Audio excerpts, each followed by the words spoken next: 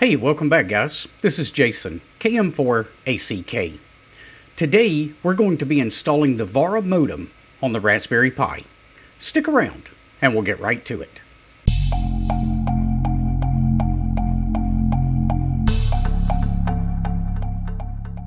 Real quick before we get going today, I've got to give a shout out to these guys.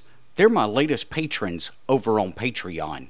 If you'd like to help support the channel, I'll leave a link to Patreon down in the description below.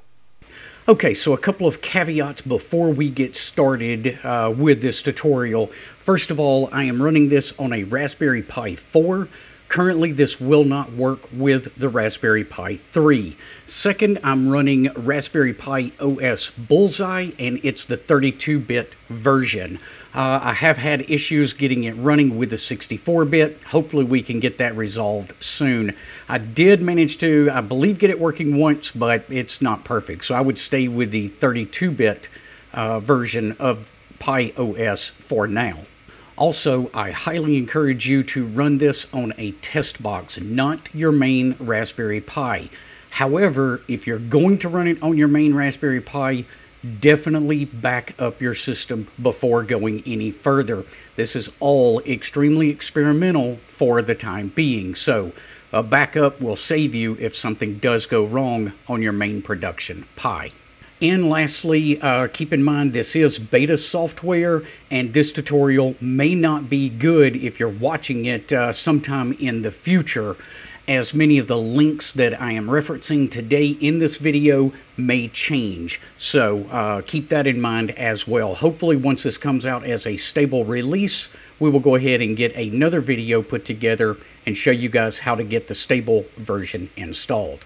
So let's go ahead and jump over to the Raspberry Pi and get going. Okay, first let's set the stage for you with what I currently have installed. I have used Build-A-Pi, the very latest version as of the recording of this video, and I have got Pat, Pat Menu, Conky, FLRig, HamLib, and Pulse all installed on this system prior to beginning any of this beta testing. And I went ahead and opened FLRig and I have it configured for the radio. So first things first, we're going to go ahead and open up a terminal window and we need to run two commands. The first is sudo apt update. And as soon as this finishes up, I will run sudo apt upgrade as well. And by running both of these commands, we'll just ensure that everything is up to date on the Raspberry Pi. Okay, so for the time being, we'll just go ahead and minimize that terminal window and we'll go ahead and open up our browser. Now, this is the forum post that I have followed to get all of this working. I will leave links to this down in the description below so you can find these posts and these websites that I'm going to be referencing as well. Uh, some of these links are pretty long and crazy, so it'll be easier to leave a link in the description down below. First thing we need to do is we need to get the PAT beta version loaded onto the Raspberry Pi. So this is on a Google Drive account and I'm going to scroll down just a little bit. The one we're looking for for the Pi is this one here and that's probably hard to see but it's the one that ends in ARM HF .deb. So let's go ahead and click on that one and we'll give it a chance to download. You will get this warning where it says that Google Drive can't scan it for viruses. That's okay. We're just going to go ahead and download that anyway.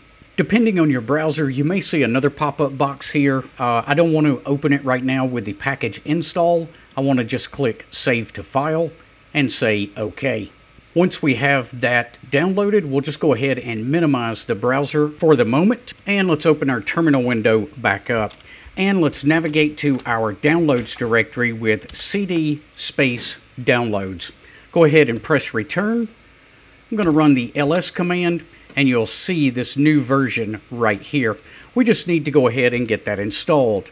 So let's do that by running sudo dpkg space hyphen I space Pat and that whole long uh, name right there. We'll go ahead and press return and give this just a couple of seconds to get installed. Okay, so now that that is installed, the next thing we want to do, I tell you what, let me just clear that screen out for us. The next thing I want to do is I want to restart PAT. So sudo systemctl space restart pat at pi. Go ahead and press return. You can also use Conky right now to verify that PAT is still running right over here in the bottom right corner you'll see that it says Pat is active. So that tells me that it did restart correctly and everything up to this point is okay. Now, if you read the forum post, it's going to tell you that you've got to modify the config.json file. We're going to use pat menu to modify that file instead. So from our main Pi menu, we're going to come down to ham radio and pat menu. You do need to make sure that you're running version 2.7.0. If not, you can pause right here, use the Build-A-Pi update tool, and go ahead and update Pat Menu. As long as you're running version 2.7, let's come down to uh, Manage Pat WinLink. And we're going to use this very last option here that says Repair the Pat config file. We'll go ahead and click on that. It's going to ask us for some basic information, so I'm going to go ahead and give it uh, my call sign. Here you will need to put your actual WinLink password. Don't just put password like I'm doing for the video. Next, we need our six-digit grid square. And then in this last one, let's go ahead and choose no for this particular tutorial. And let's hit repair the config file. What this is going to do is download the latest config file from my GitHub and install it on your Raspberry Pi. Uh, this will ensure that you get all of those edits without actually having to go in and edit that config file manually. So I'll just hit OK here. I'm going to close Pat Menu. We're done with it for now. And one more time, I'm just going to go ahead and restart the Pat service just to make sure that everything restarts and that Pat is still green over here in Conky. Now, one other way that you can check just to make sure the PAT service is running is you can just run PID of PAT. As long as you get a number returned, you'll know that PAT is running in the background as we expect it to. Okay, so now that we've got the beta version of PAT installed, the next thing we need to do is install Vara.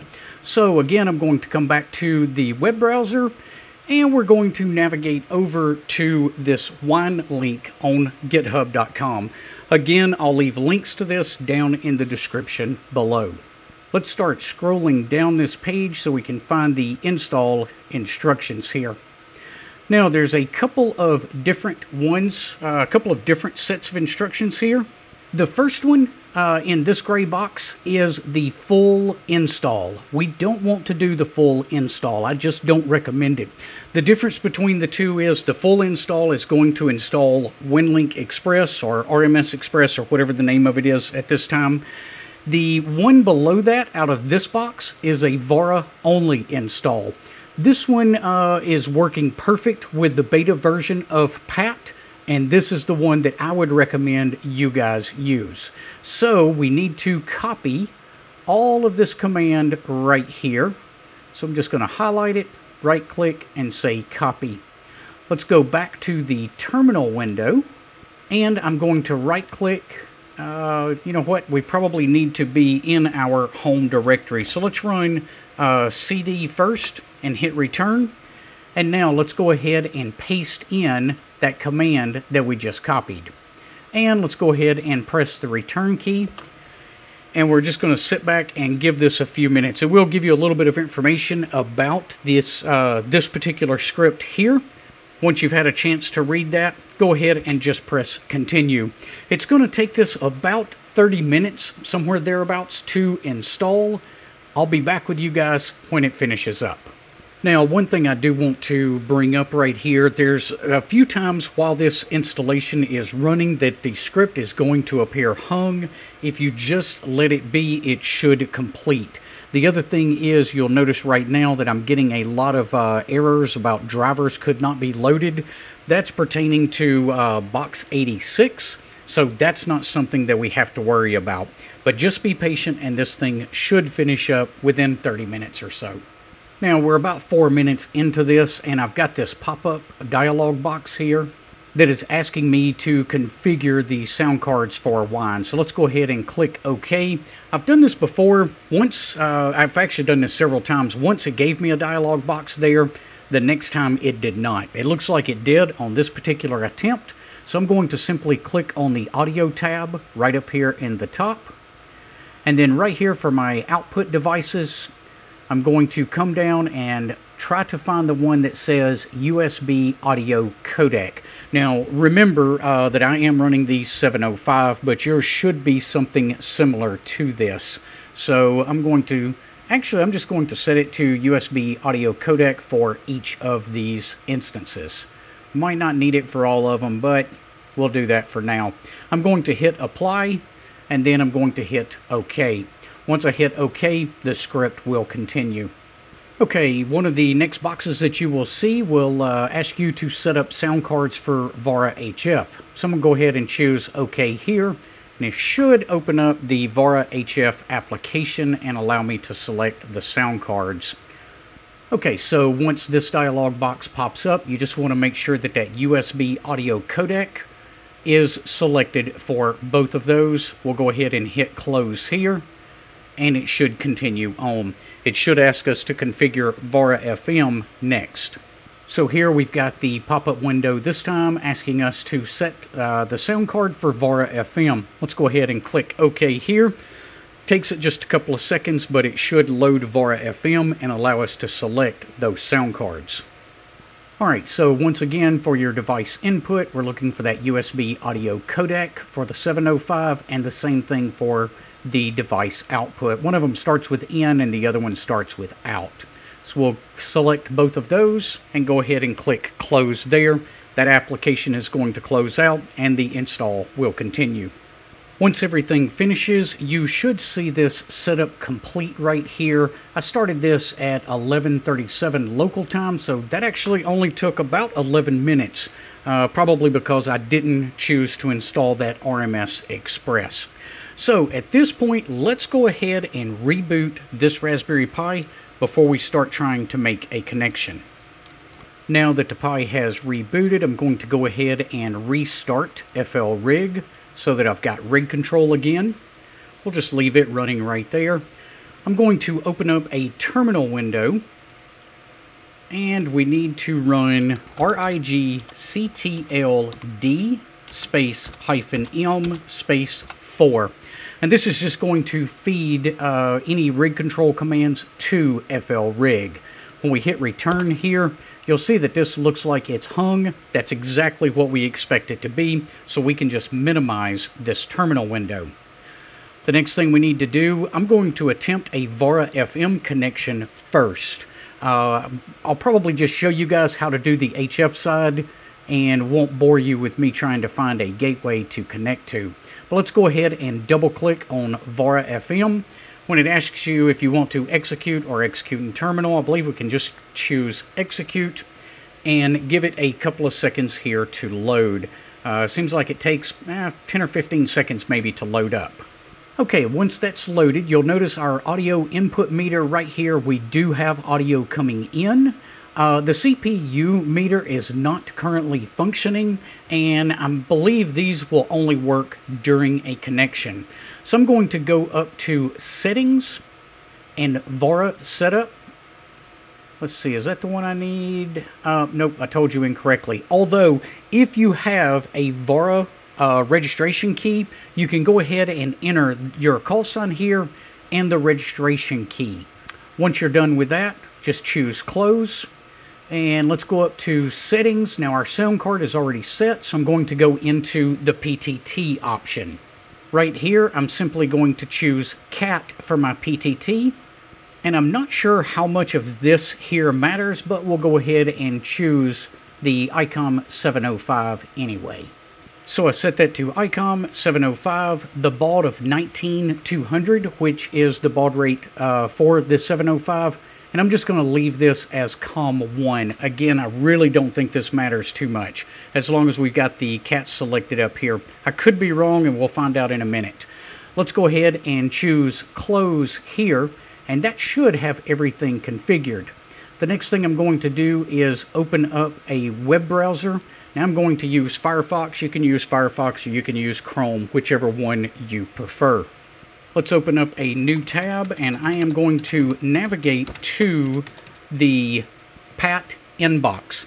Now, your address may vary depending on how your Raspberry Pi is set up. If you've done a basic little test box like I have, this 127.0.0.1 colon 8080 should work for you as well. So I'm going to go ahead and choose Action and Connect. Right here in this transport, we want to select VARA. My frequency is already set correctly at 145050, so I'm just going to give it the target call sign here, which is WC4EOC-8. Let's go ahead and click Connect and see if this works.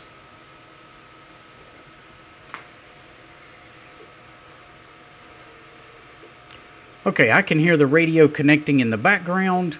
You will get a pop-up here because I didn't enter my registration key, so I'm just going to click Continue to Evaluate, and you'll start to see some action happening up here on the gauges.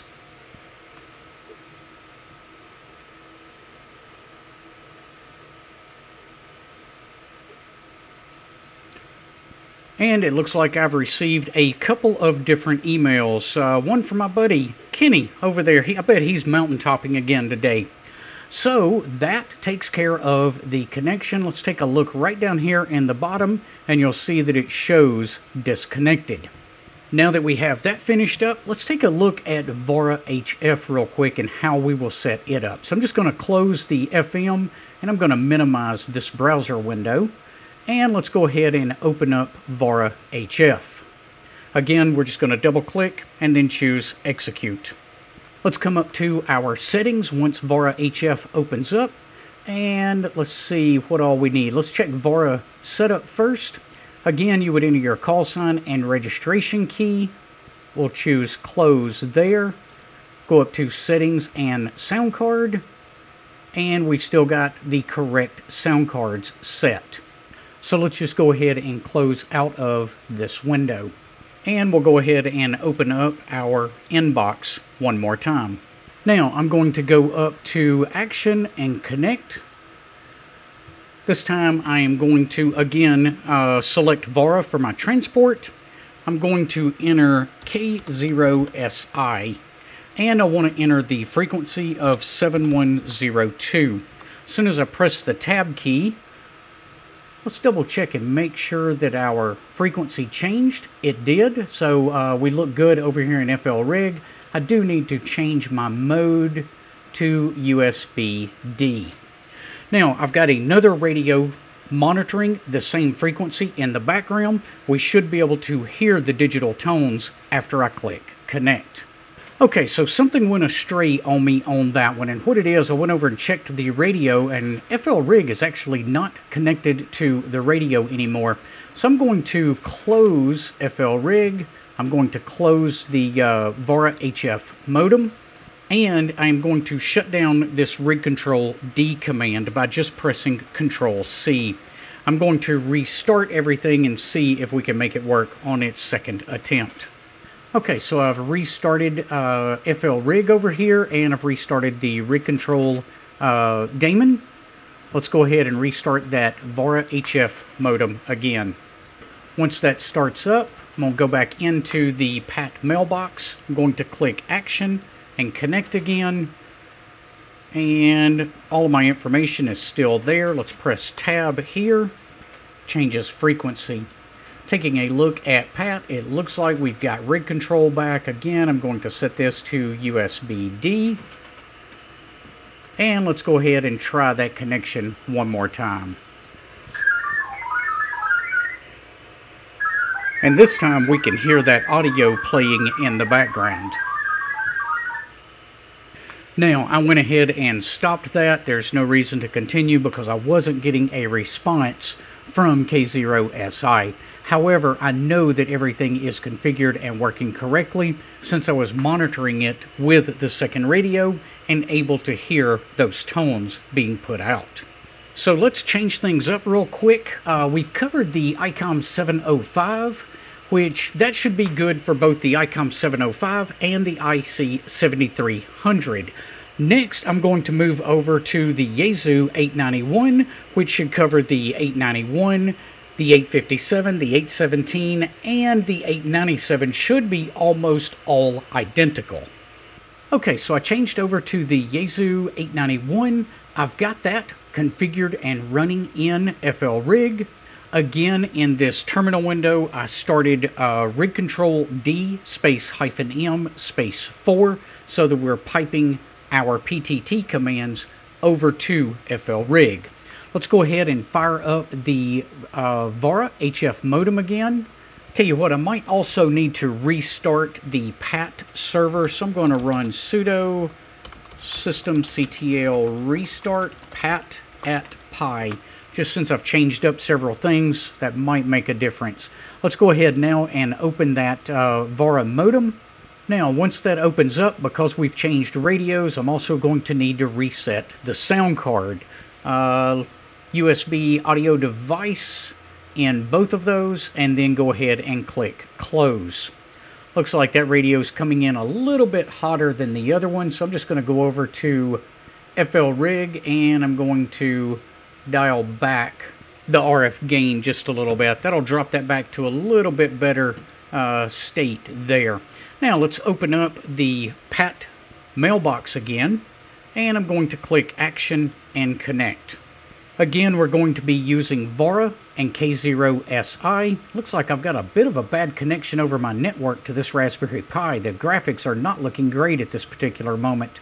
But let's go ahead and click connect. I am monitoring on the ICOM 705 just to verify that we've got tones coming out again.